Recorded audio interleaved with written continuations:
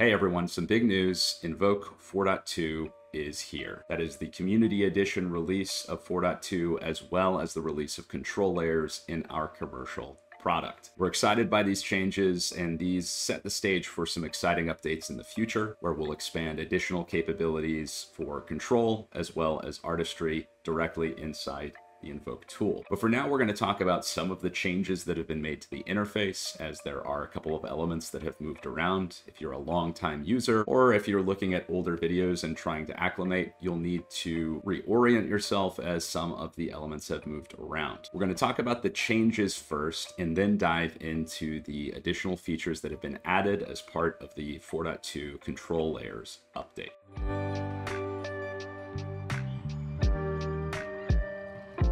The first thing that you'll notice is that on each of the tabs that exist, we have a new toolbar that allows you to switch between a dedicated workspace for that tab and the viewer that allows you to select gallery images, view them, and perform image-specific transformations, as well as preview ongoing generations. You can easily switch between the workspace and the viewer by hitting the Z key or hitting the button in the top right. You'll also notice that the preview toggle as well as the metadata information have been moved to the top left of your viewer. A few other UI updates to note is that the control adapters and IP adapters have moved out of our settings panel and into a new tab that we call control layers. The control layers tab allows you to add all of the control adapters, IP adapters, as well as the initial image for an image to image transformation directly inside of this single tab. The text to image tab has been updated to generation and now includes all core generation capabilities such as text to image and image to image. This is where you'll be creating new images using control inputs as well as the new regional guidance layers that we'll talk about in just a moment. Layers can be added and deleted relatively easily. You can also delete all layers by clicking the delete all button. If you were wanting to run an image to image process similar to how you would operate using the image to image tab of the past, you can simply add a global initial image layer and add that in. Let's take a look at our control layers tab to watch that preview. With the control layers tab, you'll also be given some nice user experience affordances. In this example, we can see that our initial image is kind of getting distorted because our image settings are not aligned with the size of our initial image.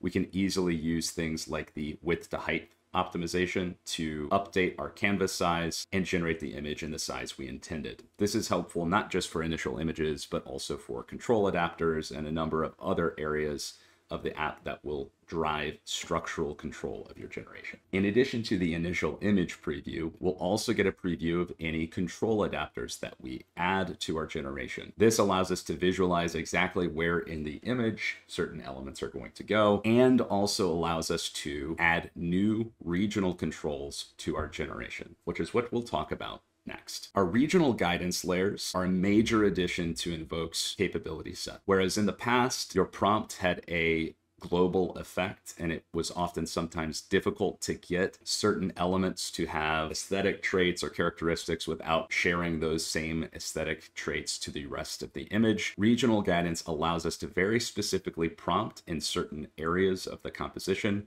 for certain elements. Really, the way to think about regional guidance is kind of like influencing where the AI model is focusing its attention for certain elements of your prompt. We're going to talk about how the global prompt and the regional prompt interact, as well as some failure modes or patterns that can cause you to get less than optimal outputs. But for now, we're just going to go ahead and showcase some of the capabilities of the regional guidance. By default, when you add a regional guidance layer, you're adding a positive prompt you can delete that prompt out and see that we have positive, negative, and image prompts available on our regional guidance. We can also add additional prompts using the layer settings dropdown. We can have a positive, negative, and image prompt all at the same time. We can also have multiple image prompts on any single layer. This is fully compatible with the new style method and composition method, and using these in conjunction with a positive prompt really allow for a lot of control over the visual aesthetic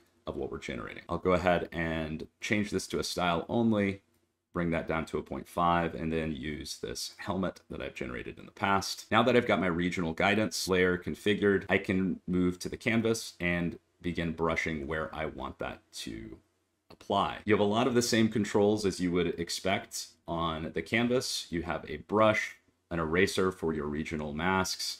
You'll also have a rectangle which allows you to mask certain regions using a rectangle. You can move these layers around if you need to adjust them based on a new image, and all the hotkeys you've come to love are available for you to use. I'll go ahead and erase some of the area of that rectangle that I don't want. Now, it's worth noting that while I'm drawing very specific areas of this region, the way that this process works is going to not be as precise and specific as I'm applying here. This is for a number of reasons. First, all of these are being compressed to a much smaller size when they're going through the generation process. This is known as the latent space. But additionally, these regions are influential but not directly controlling the output. In order to make for a more coherent image, the AI model does have some freedom as it's applying these regional guidance layers, and it will try to make a globally coherent image based on your global prompt, regardless of what your regional guidance says. So this is where there's going to be a little bit of trial and error and understanding how an individual image is going to be interpreted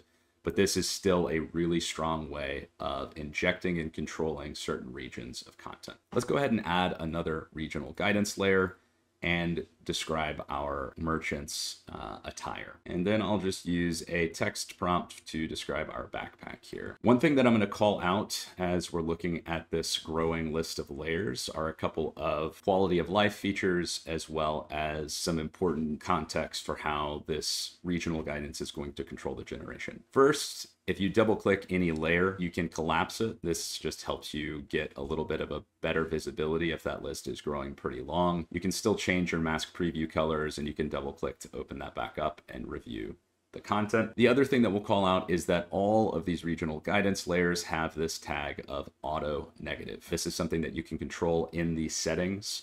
Uh, you'll see this auto negative is enabled. By default, when you're selecting a region, we are automatically creating an inverted mask and negatively prompting the opposite of that region. In this case, I'm saying that in this area, we do want the blue futuristic backpack. And in all of the other areas outside of this yellow region, we do not want this. We are negatively prompting for this thing. There may be some situations where we don't necessarily want that negative prompt everywhere else. We're trying to nudge something towards a specific trait or subject, but we don't necessarily want to take that away from everywhere else in the region. There may be, for example, a little bit of conflict here of futuristic elements in each of these that are going to conflict with futuristic elements elsewhere. But as mentioned before, we can easily turn this off if we don't want that type of control applied. Let's go ahead and generate and see what we get. Uh, I'm going to go ahead and take my canny control down just a little bit on the weight and the end step, just so that we have a little bit of freedom to make that uh, soft. We can now see where we got a little bit of our influence from our previous images. We definitely got black and gold garb here from our image prompts. Maybe wanted to see a little bit more of this helmet in our helmet prompt. So I might go ahead and bump this up and turn this to an IP adapter plus model and regenerate. Great. So we've gotten a lot of the elements that we wanted here. We can compare and contrast. We might like certain elements that one generated over the other, but we can always composite those later. And if we like these and want to make some edits, we can send these to the unified canvas to edit there. Let's go ahead and delete our layers and then switch this image size up a little bit because I'm going to go through and talk about some of the global prompt and regional prompt interactions. We won't use control layers for this because this is purely to help demonstrate where we can run into challenges using regional guidance and how we can overcome some of those challenges. So this is not unsurprising, right? We are commonly experiencing this tendency for the AI models to have adjective bleed. So in this case, this left dog looks kind of like a dog, but he's maybe got cat ears. This cat here is kind of merged in with the dog over on this side. It's hard to tell whose paw is. So this is what happens when we don't have regional control. Now let's go ahead and go to our control layers. We'll add a layer and we'll put cat and we will add a layer and put dog. So we're going to put our dog over here and our cat over here and we'll see what we get with this type of regional control. So now we can see we've got our cat and we've got our dog. There's no bleed of those two concepts and we have separated those out. This is what we'll call an aligned global prompt and regional prompt. We have the subjects up in our global prompt that's kind of giving an overall set of understanding for the image. We have regional guidance telling us where each of these things are in this image. And in general, we feel like we have outputs that are aligned with what we were hoping to see. Now let's see what happens when we take dog and cat out of our global prompt. In this case, our global prompt is really not very specific. It doesn't tell us what's inside of the image. And we've activated these regions for dog and cat, but that's not really what the model was generating. It wasn't generating a dog and a cat. It was generating just this general photograph. And so we're optimizing these regions and we're kind of influencing it towards these subjects of dog and cat. But these are more small nudges to help guide the attention. It's not intended to be a solid control of there will be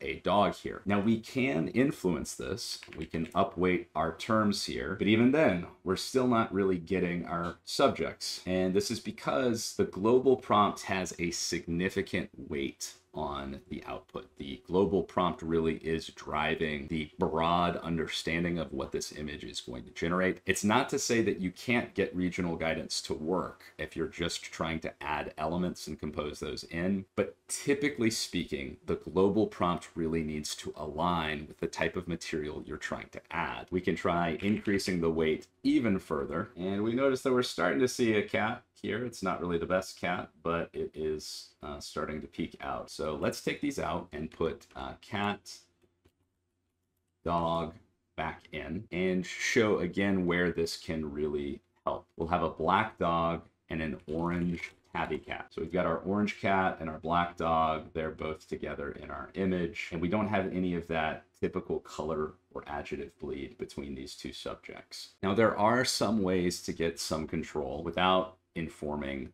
the image using the global prompt. For example, a global image prompt adapter where we use, let's say, our image over here as a composition. And then we will take our left-hand side and make this a white goat. And the reason this works is because our composition global IP adapter is really structuring the types of things that are going to be in the image. We're going to have a couple of animals leaning on the ground with this background, and it's going to be a very focused shot. And so this is kind of priming the type of photography that our global prompt is aligning towards and trying to generate and the black dog and the white goat are effectively painting that guidance on top of something that is already structurally there. If it is on its way to generating something in a certain part of the composition, uh, whether that's a piece of clothing or a subject. Regional guidance can really help that attention form around a certain aesthetic or style. Or in this case, our composition only IP adapter is instructing that there are going to be two creatures or animals here, and our regional guidance is just re-instructing which type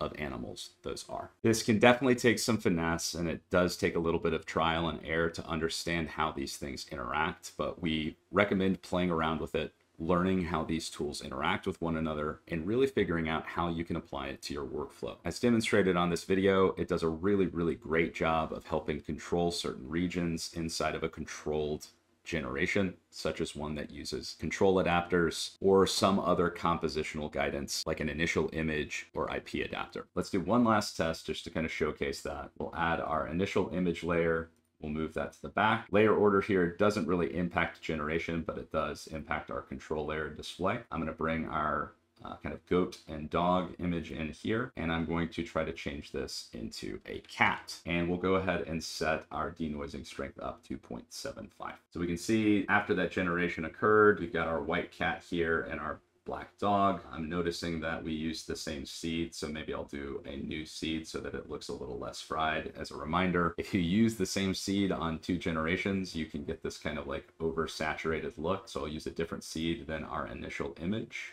and we've got our cat and our dog. We're super excited by the potential that Control Layers offers to artists and creatives in really crafting and expressing themselves inside of these emerging tools. As always, we're not stopping. We continue to make Invoke better and better with every single release, and we're excited to hear your feedback about how you're using these tools in your work. If you've got feedback or want to share a little bit more about how you're using the tools, feel free to reach out to the team on Discord. We're always excited and happy to hear about how we can make Invoke better and how the tool is helping artists and creatives find new ways to express themselves in the age of AI. We've got a lot more content coming. Like, subscribe, and follow to hear the latest, and we'll see you back for the next one.